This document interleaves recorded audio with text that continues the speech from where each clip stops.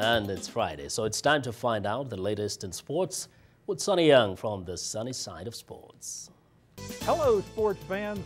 I'm VOA Sonny Young with the sunny side of sports.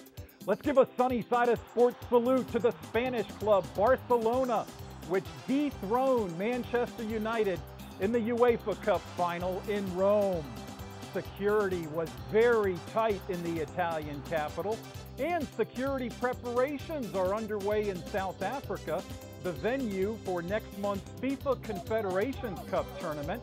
The eight nation event kicks off June 14th in Johannesburg, and it's billed as a dress rehearsal for the 2010 World Cup, which South Africa will also host. Turning to tennis, early round action is continuing at the French Open in Paris where Spanish star Rafael Nadal is bidding for a record fifth consecutive title on the clay courts at Roland Garros.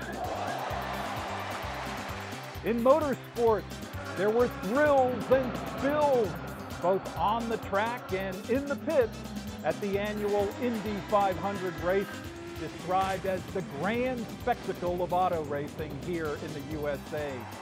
Brazilian driver Helio Castroneves celebrated his third Indy 500 title. Also in the USA, at the Los Angeles Marathon, Kenyan athlete Wesley Korir celebrated his biggest and most lucrative victory. Korir won a new car, as well as prize money and bonuses totaling $160,000 he set a course record of 2 hours, 8 minutes, and 24 seconds. Finally, in Gloucestershire, England, it wasn't a foot race, it wasn't an auto race, but a cheese rolling race down Cooper's Hill.